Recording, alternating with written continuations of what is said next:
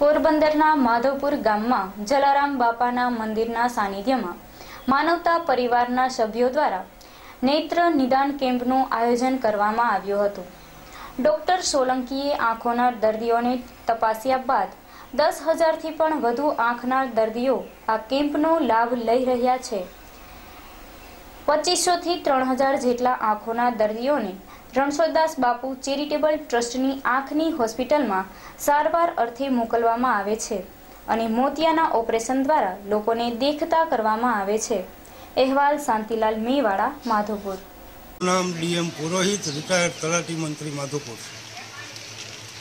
મિત્રો, અમને જણાવતા આનંદ થાય છે કે માધોપુર ગામની અંદર માનવતા પરિવાર દ્વારા છેલ્લા ચાર વર્ષ ત્યાં એક મેગા નેત્રયજ્ઞ શરૂ કરવામાં આવેલ છે, જેની અંદર પૂજ્ય રણછોડદાસજી સેવા ટ્રસ્ટ હોસ્પિટલ રાજકોટ દ્વારા સુંદર મજાનું કાર્ય આ ગામને કરવામાં આવે છે.